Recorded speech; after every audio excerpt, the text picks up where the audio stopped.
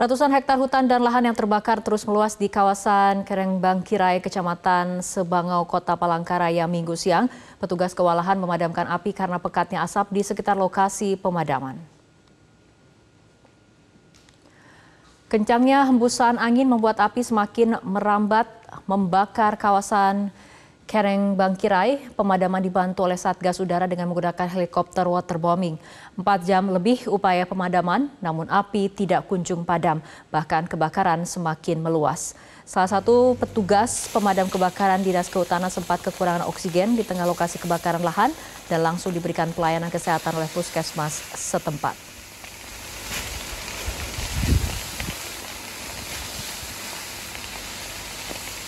Kereng Bengkire tersebar beberapa titik tuh mencapai ratusan hektar. Ya, bang, oleh untuk angin ke sana kemari jadi kita terkepung asap oleh banyak tanaman yang masih hijau. Jadi asapnya sangat kempul.